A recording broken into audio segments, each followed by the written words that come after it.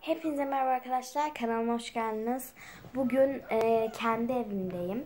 Benim arkadaşlar daha önce çektiğim bütün videolarım, tabi ev dışında olanlar, e, hepsini anneannemlerin evinde çektim. Burası Malatya'da çekilmiş videolardı. Burası arkadaşlar Elazığ. Evet Elazığ'daki evimiz burası.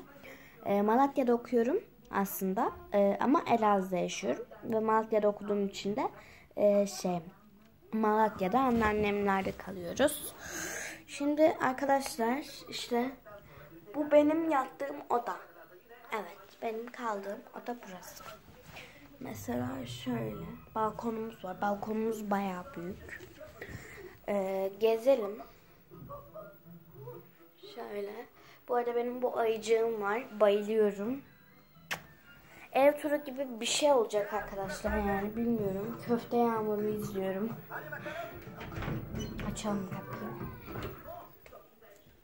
Gidiyoruz. Koş koş. Mutfak. Mutfağımız. Bu arada arkadaşlar yerleri hiç sormayın. Kardeşime dağıttı. Şöyle. Bilgisayarım.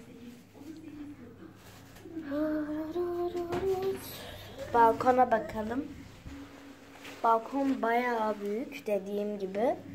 Yani arkadaşlar daha gösteremiyorum ama çok büyük. Turun bakın. Yerde şurada. Gel Zümra. Kardeşim de bu arada burada arkadaşlar.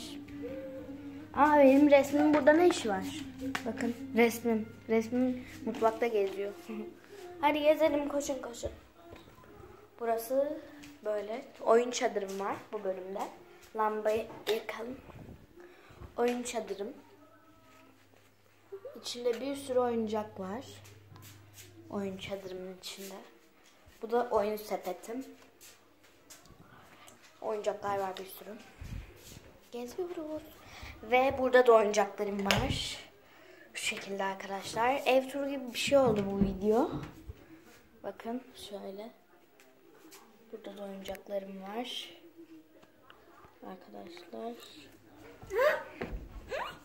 Burada paralarım var. Hepsi sahte.